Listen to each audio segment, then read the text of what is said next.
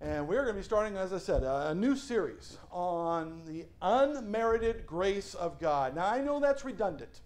Don't come after me for the English on this, that unmerited and grace are redundant because grace, by definition, is what? Unmerited. unmerited favor. But I wanted to highlight, I really did want to say that twice because that's what this study is really going to be all about. Us, who we are, what we have done, and compare that to the infinite, amazing grace of God. And no matter what we do, we could never earn it, we can never um, deserve it in any way. Uh, but it is a grace that is given to us by God. And it is an amazing grace. And I just wanted to start with this kind of little question is do you want what you deserve? How many have ever seen commercials that say you can get the benefits you deserve? You can live in the luxury you what? Deserve. You can have what you what? Deserve. I hate that word. Whenever a commercial tells me that I deserve something, I know they're about to cheat me. they don't know what I deserve. And if you sit there in life saying, well, I deserve this or I deserve that, you're going to be a very miserable person because you will never have everything you think you deserve. Now, here's some good news God will not give you what you deserve. Sometimes there's a good side of that, isn't there? Because what do we deserve? I want to start this study on grace by just reminding of us exactly how bad we are. You say, I'm not so bad. No, you are. uh, anybody at home, anybody here, anybody living, eh, we are what? We're, we're bad. How bad are we? Let's go to Romans chapter 3.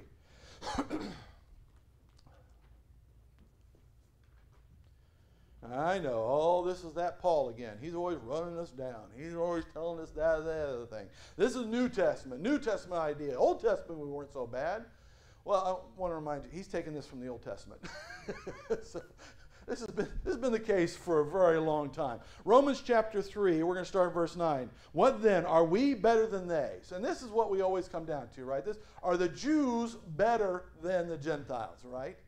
And you know, that's the argument this time, but how many times in your life will somebody say, You're better than them, right? Or we even think to ourselves, I am better than. I deserve, there's that word again, I deserve more than they do, right? I deserve things better than they are they have. I deserve this, I deserve that.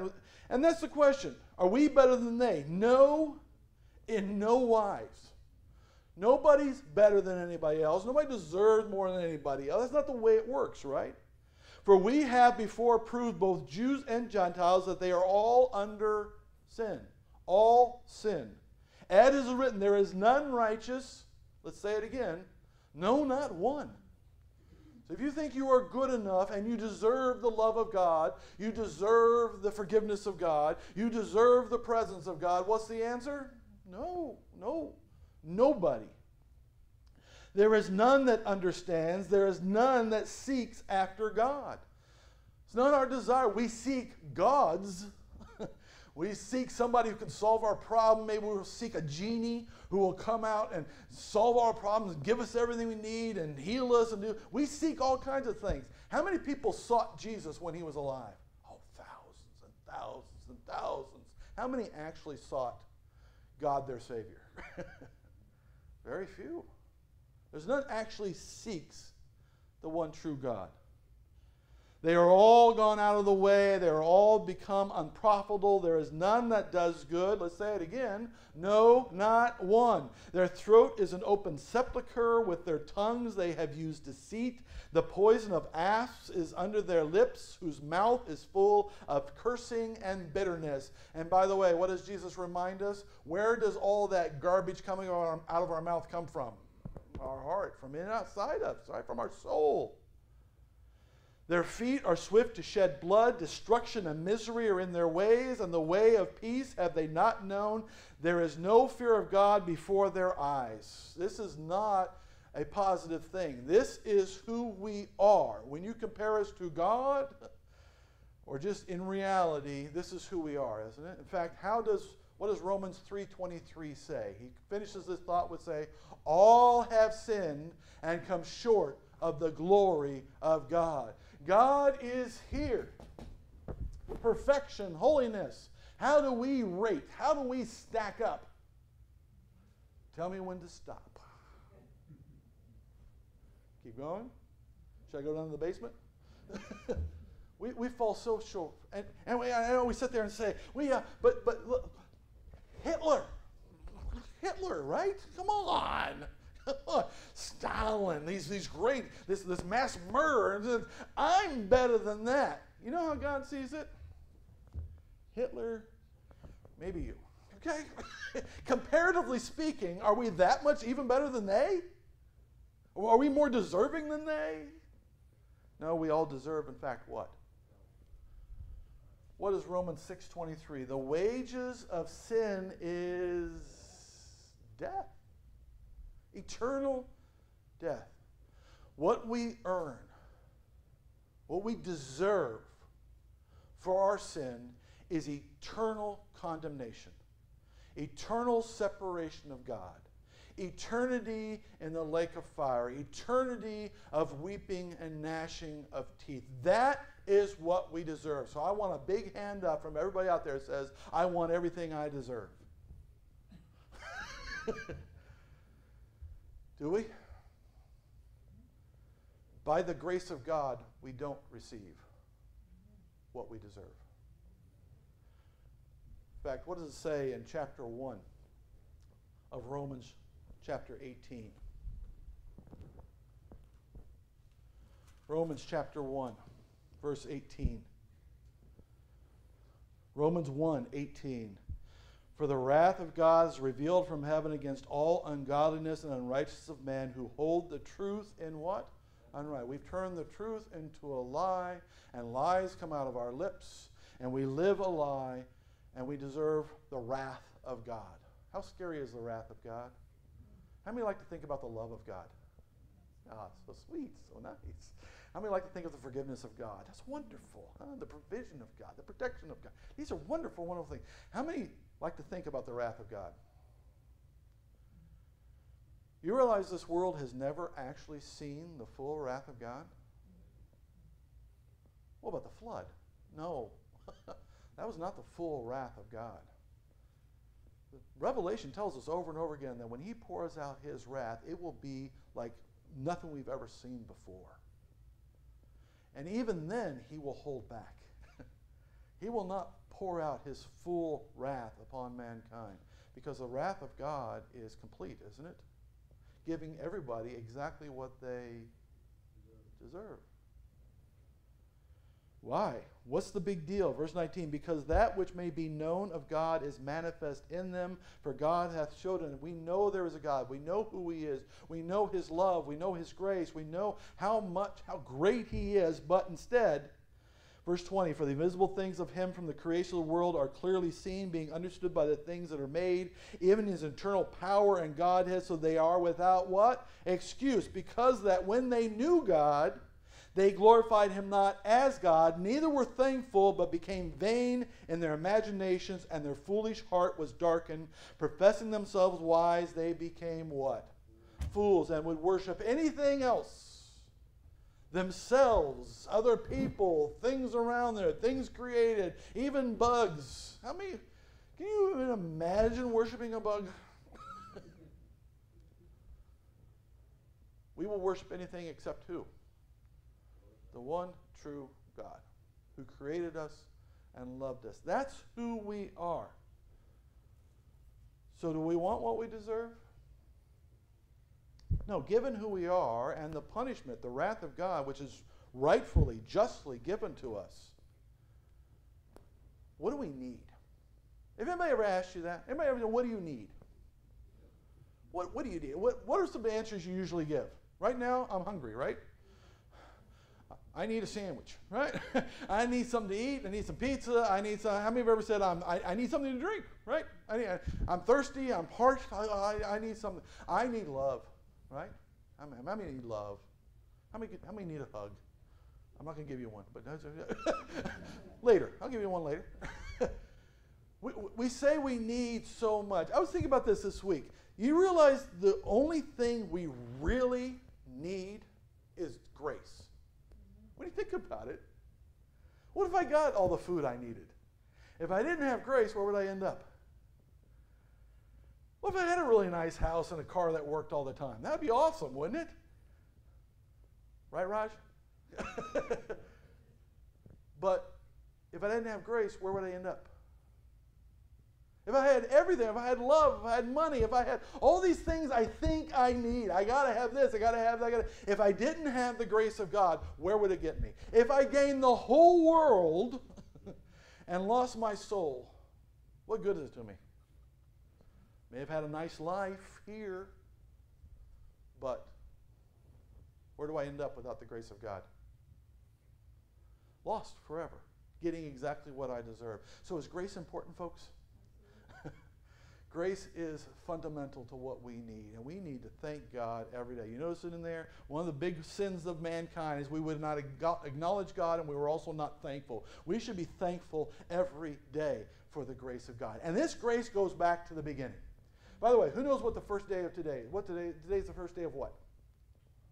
Fall. So let's go talk about the fall. How's that sound? You like that? Like not like that? Okay, all right. Let's go to it. Let's go to Genesis chapter 1. And first, let's think about how great God is. Right? First of all, is He powerful? Yeah, yeah. Over the first six days of creation, what, what did He manage to create? it's, astounding, isn't it? Yeah.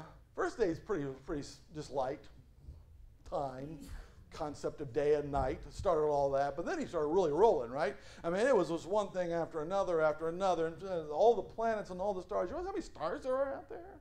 Just the order and all the things and creating it so it all works together. It's amazing. And then on the sixth day, he created, at the end of it all, us, right? In fact, look at uh, Genesis chapter 1, starting in verse 26. And God said, Let us make man in our image. By the way, why plural? Because it's God the Father, God the Son, and God the Holy Spirit, always working together as one, one God, three persons. If you ever want to just have a discussion on how all that works, let me know because I'm not really 100% sure. I know what it says, I know what the reality is, but it's a tough concept for our little brains. But let us make man in our image. You realize how incredible that is? He didn't just create us, He didn't create us just like one of the animals. One of the animals that is here today and gone tomorrow, and again, if you want to think otherwise, fine. But, but yeah, animals have no soul. They're here, they, they do their thing, and then they're gone. But man was created in whose image? In His image. His characteristics, His, his love, His humor, His everything else about Him. We were made in His image. In fact, He took together the dirt and then He breathed into us life and gave us a soul. We have a part of Him inside of each of us. We have that eternal part of a soul, that eternal part of Him that is in us. Are we different than the rest of His creation?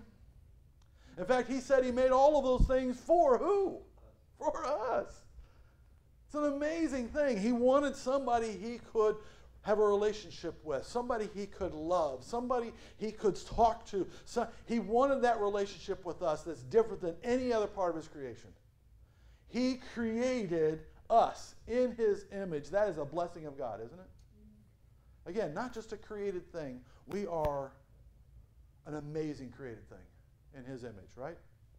And not only that, let's keep going. Let's go to verse 28. And God blessed them.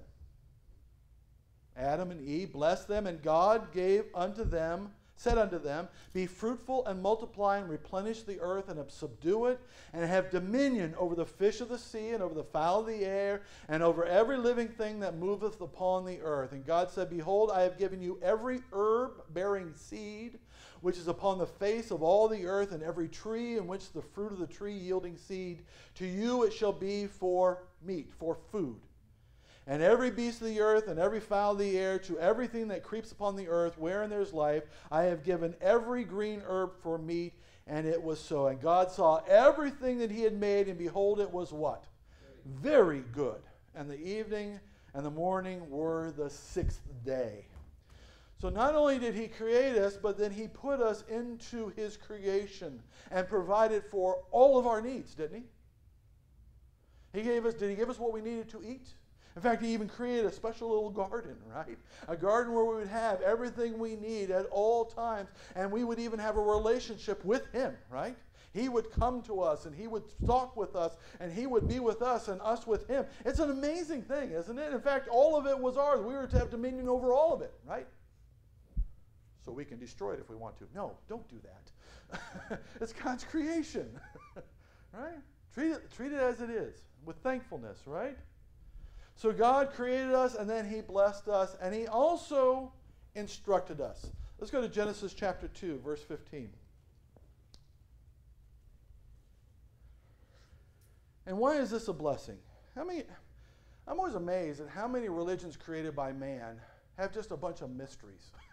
it's like, oh, we can't know that. We can't know that. We can't know that. Oh, you got to go along. You got to figure things out along the way. And then, we used to always do this. Uh, we always had fun with the kids sometimes. We would, we would play a game, but we wouldn't tell them any of the rules. And as they go along, we say, oh, I'm, I'm sorry, you're dead. you went the wrong way. You should have gone right, not left. You should know that by now. It's like, how do we know that? I there aren't any rules. Is that what God did to us? He like plop us down in the garden and say, I'm not going to tell you anything. I'll tell you one thing. There's a tree. There's a tree. If you eat from that one, you're going to die. Good luck. Is that what he did? In fact, does he do that to us today? He's like put us in the earth and say, hey, I woke you up this morning. Good luck. I haven't given you any instructions on how to live, how to do the right thing, what's right or what's wrong. I'll punish you do the wrong thing. Good luck doing the right thing. Is that what he does? Or does God instruct us? Does he give us knowledge of understanding of what's right and what's wrong? And does he help us along the way and give us the Holy Spirit to remind us? He does all that thing. He instructed us. Did he instruct them? Absolutely. How many rules were there in the garden? One.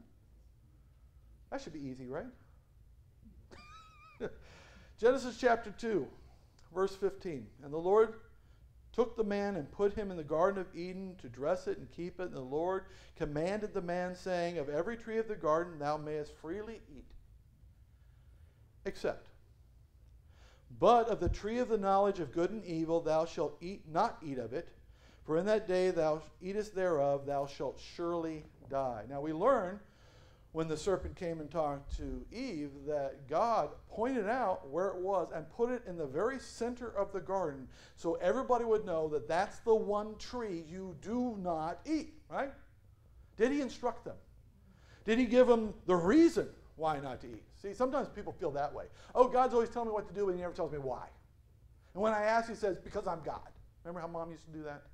Because I said so, because I'm the mom, right? See, God didn't even do that. God's like, well, because it's good for you, and let me show you why. In fact, I'll give you history to show you why. I will instruct you. I will help you understand. I will make sure you understand so that you can do what is right. Is God good? Has God blessed us? Not only that, He cared for us. Look at chapter 2, verse 18.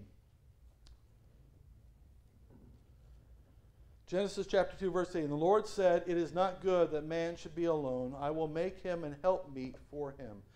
He looked down at this very good creation, but he realized that man needed a relationship, right? Needed another human being, another person. God was not enough, which is a sad statement, isn't it? Having a relationship with God was not enough. It needed a somebody else. Now, he brought all the animals. Could the animals fill that? So he made him fall asleep, and then he created what? Woman. And then they could multiply, and they would have relationships, and they would have people to live with, and families, and down through history. See, God saw that we had a need, and did he care for us? So look at, look, look at these blessings. God created us in his image. He blessed us with everything we could possibly need. He instructed us on what is right and what is wrong, so we make sure we can do the right thing and stay with Him forever. And then He cared for us. If we had any need, He fulfilled it. Now, what would you do in that situation? How many would be happy? How many would be thankful? How many would know that they are loved and know that they will be with God forever because He is so great? That should have been the response. Unfortunately, what was mankind's response? Don't, don't pick this on Adam or Eve. You know, Adam and Eve basically just wanted to point to somebody else as if it's their fault, right? Don't, don't put the situation on them. This is our fault. When realizing and knowing all of this about how much God loves them and who He is, still mankind says what? Now, I don't want that relationship. I don't trust Him. I don't believe God is telling me the whole truth. I don't believe God really has my best interests in mind. I really don't believe that God truly loves me. Why do I say it that way? Because it's exactly what the serpent said to Eve, wasn't it? Let's go take a look. Chapter 3, verse 1. I have no idea, by the way, from the time God created and put them in the garden until the serpent came. I don't know how long that was, but that was a wonderful time in history. but I'm guessing it didn't last very long because we were involved. And Satan was involved, right? Chapter 3, verse 1. Now the serpent was more subtle, cunning, than any beast of the field which the Lord had made. And he said unto the woman, Yea, hath God said, You shall not eat of every tree of the garden? Hasn't he said you can eat of all of them? And the woman said unto the serpent, We may eat of the fruit of the trees of the garden, but of the fruit of the tree which is in the midst of the garden, God has said, You shall not eat it, neither shall you touch it, lest you what? Die. Did, did they know the rules? they knew the rules. Did they know the tree? They knew the tree, right? But what does Satan spin this? Verse 4. And the serpent said unto the woman, You shall not surely die. In other words, what was his first salvo? God is a what? Liar. He's just trying to control you. He's just trying to keep you from something great.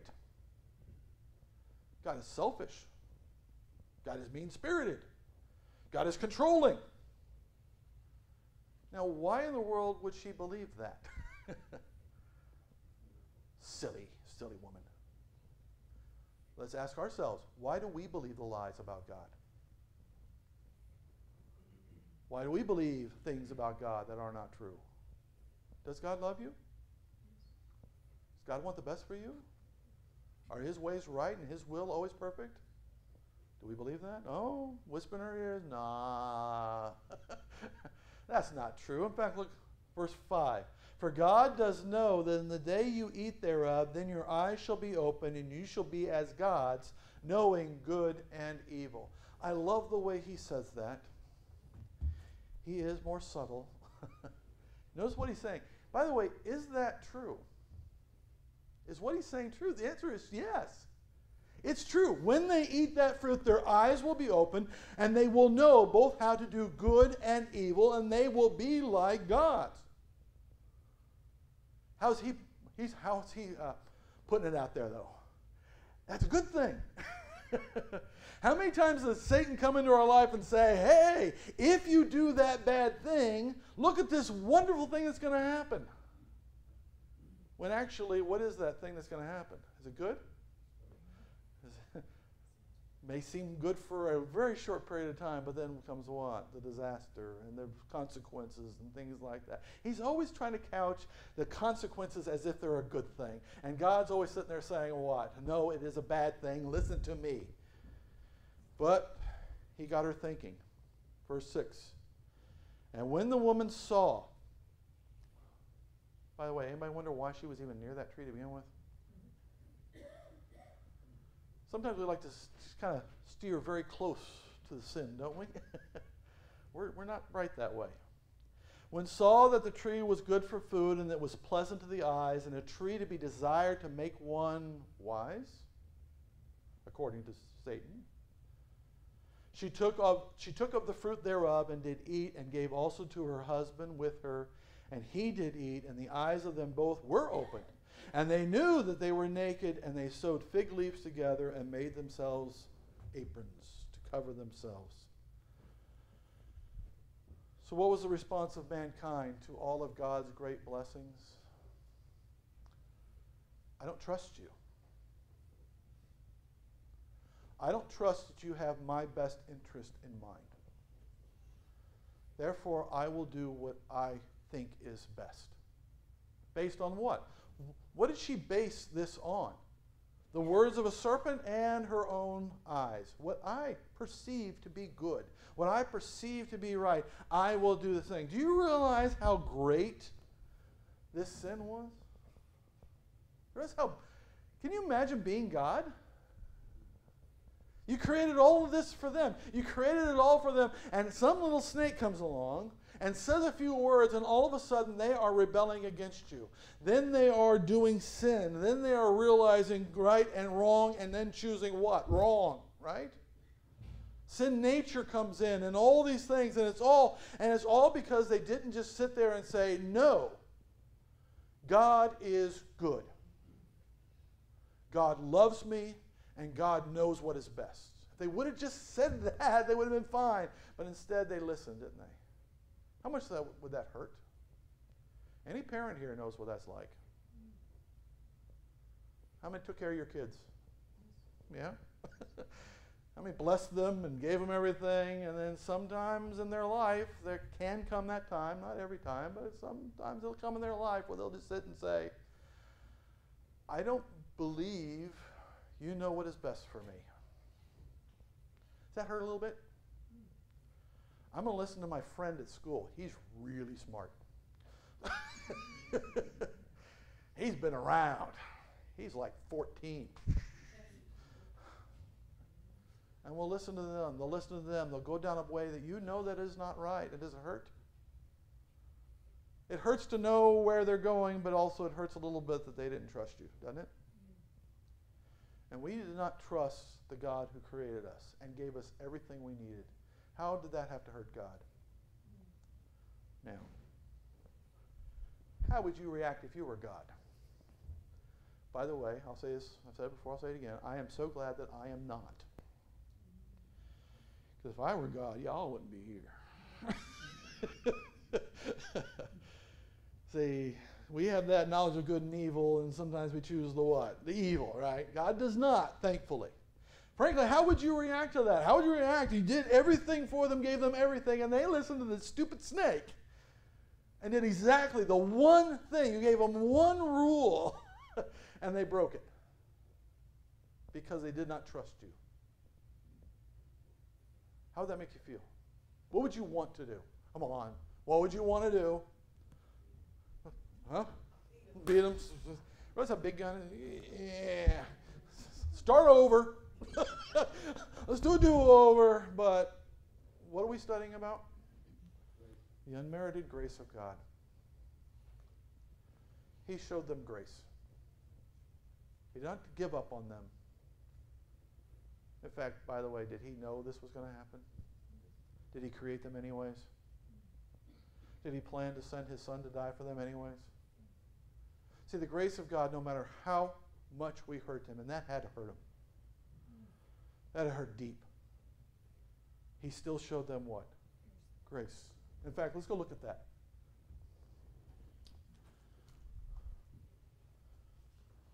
Let's go to Genesis chapter 3, starting in verse 8.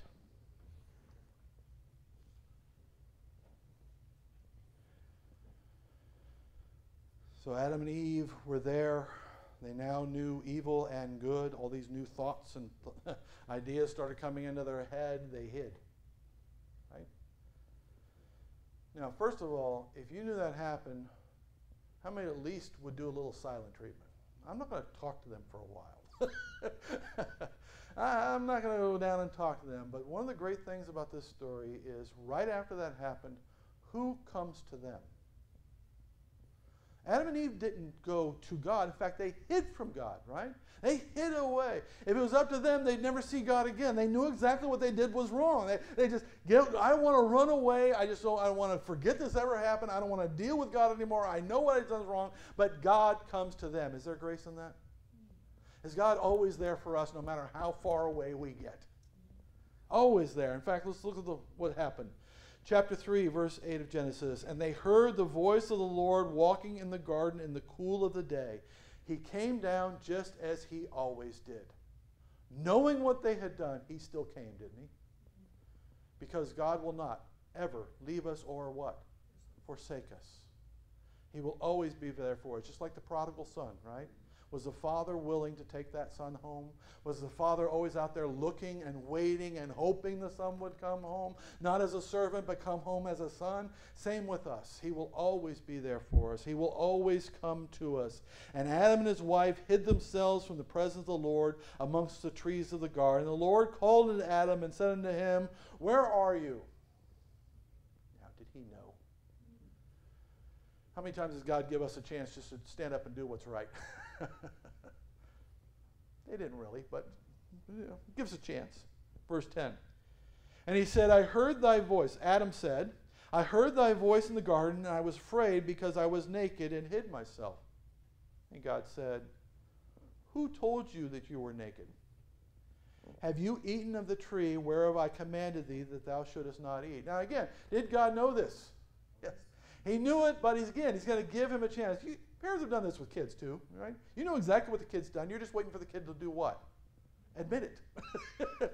Come to me, say you're sorry, acknowledge what you've done. He's given them a chance, and what did they do with that chance? Verse 12. And the man said, The woman whom you gave me. So whose fault is it ultimately? God, if you just wouldn't give me this woman, then we'd all not be in this situation. By the way, is that true? No, no. She gave me of the tree, and I did eat. Now, again, if I'm God, thankful I am not, I'd be like, okay, she twisted your arm, shoved it down your throat, made you eat it. No. we, we, we, will blame anybody, anything, anytime, won't we? Instead of taking accountability. He did not take accountability. Verse 13. And the Lord said unto the woman, What is this that thou hast done? So what did you do? And the woman said, The serpent beguiled me and I did eat. He's his fault. Shouldn't have created those stupid serpents, right? No accountability. That's us, isn't it? Verse 14. And the Lord God said unto the serpent, Because thou hast done this, thou art cursed above all cattle and above every beast of the field. Upon thy belly shalt thou go, and dust thou shalt eat all the days of thy life. And I will put enmity between thee and the woman, and between thy seed and her seed. It shall bruise thy head, and thou shalt bruise his heel. And right there we have the very first promise of a Savior. This is the first prophecy regarding the Christ, the Messiah, who would come and crush the head of serpent, the one who would come and set us free from the penalty of sin, the one that would come and give us new life even though we chose death. That's called what? Grace. Grace by his presence, but also grace by his what? Promise. And does God always keep his promises? He promises to make a way. And again, he already had the plan set up that it would be him. It would be God himself who would come to be one of us, to go to a cross and die for us and rise again victorious and give us life over death. Right? For the wages of sin is death, but the gift of God is what? Eternal life through Jesus Christ our Lord. And right at the very beginning, even as he is punishing them, he is also giving his what? His promise. That I will make a way. How many ways? One way. Just like there was one rule in garden, there's one rule now, isn't it? Put your faith in Jesus Christ and you shall live. By his grace he is already showing his tremendous grace and patience here, isn't he? Well, let's keep going. Because even in his punishment, we will see grace. Again, chapter 3, verse 16. Unto woman he said, I will greatly multiply thy sorrow and thy conception. In sorrow thou shalt bring forth children, and thy desire shall be thy husband, and he shall rule over thee. So the woman he gives tremendous pain in childbirth. Sorry, Lucy. You're familiar with it already, though. in case you've forgotten. So where's the grace in that? Will she have children? Is he going to keep going with this experiment known as human beings? yes, Adam and Eve will have what? Will have children, and their children will have children, and their children will have children, and their children's children's children will have children. And yes, they will keep going. The, the human race will continue, won't it? Is there grace in that? They will have the blessing of children and family and all of that, even though we chose to disobey, chose to distrust, chose to turn against God. He will still give us life, won't He? And life eternal will be eligible. Who can get that life eternal? Any of those children, right? I will give you life. And He will continue. Even in His punishment, He's saying, What? I will still bless you. What about Adam? Verse 17. And unto Adam he said, Because thou hast hearkened unto the voice of thy wife, and hast eaten the tree of which I commanded thee, saying, Thou shalt not eat of it, cursed is the ground for thy sake.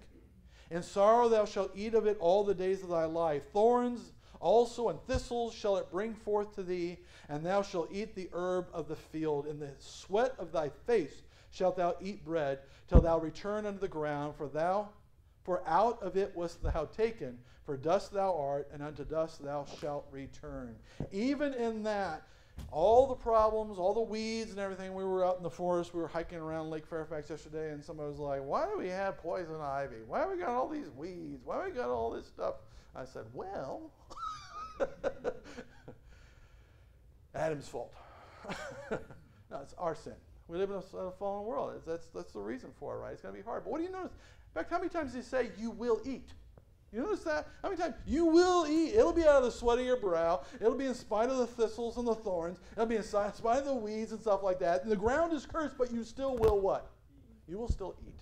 You will still have children, and you still will eat, and mankind will go on, and I will make a way that all mankind might be saved. Is that grace?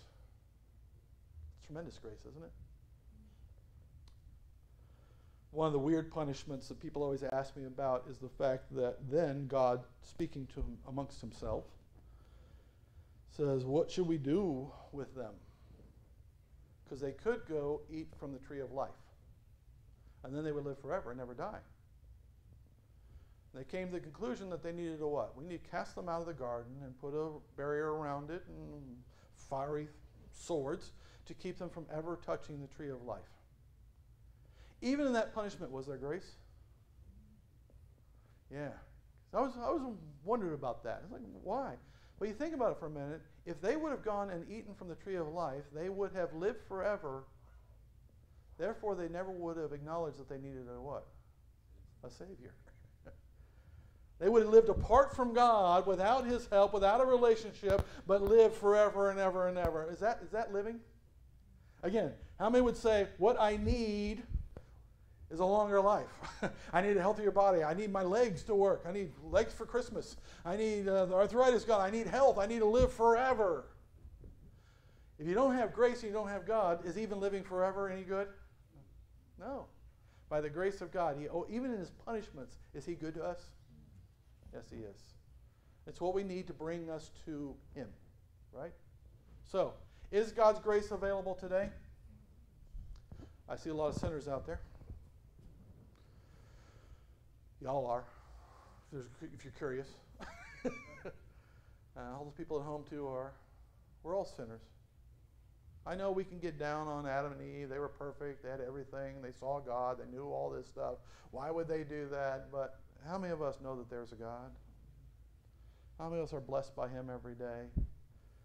How many of us still sin? Still listen to the world? Still listen to our own ideas? Still try to decide our will is better than his will. How many of us still hurt God every day? How many are thankful for grace?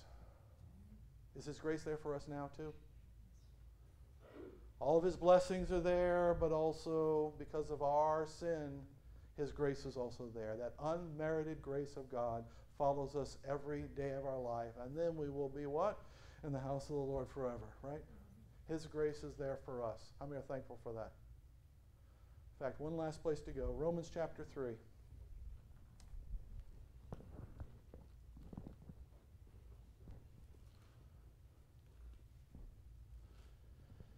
everybody knows Romans 3.23, right?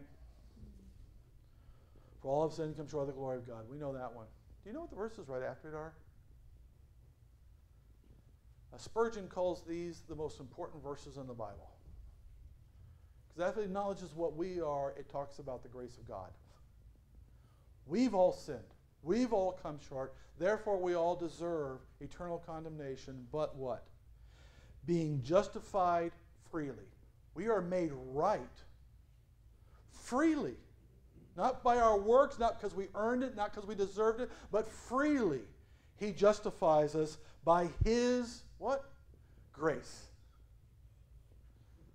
Through the redemption that is in Christ Jesus, who, whom God has set forth to be a propitiation, a satisfying sacrifice through faith in his blood to declare his righteousness for the payment, remission of sins that are passed through the forbearance, the patience of God. How much grace is in those just few words? the grace of God that God, even though we have all sinned and come short of the glory of God, says, I will make you right. I will make you in my eyes righteous and perfect and holy so you can enter my presence if you will just believe. If you will just believe that Jesus Christ, my only Son, came and died for you that you might have life. If you just believe that, I will bestow all my grace upon you and give you life and make you my child, and I will never leave you or forsake you, and I will take you home to be with me forever. That is the grace of God, and it's available to who today? Anybody. Just checking. Everybody take a breath. It's available to you. you have no breath? Eh. But the grace of God is what? Available to all if we will just come. Acknowledge that we are sinners. Acknowledge we've turned against God, but seek His grace. Say, Lord, please save me. Will He? Yes, He will. And you know what? That was just the start of how bad we are. So let's go a little more next week, all right? How bad can we get? How great can God's grace get? That's what we'll be looking at. Let's pray. Tell me, Father, we thank you for your word.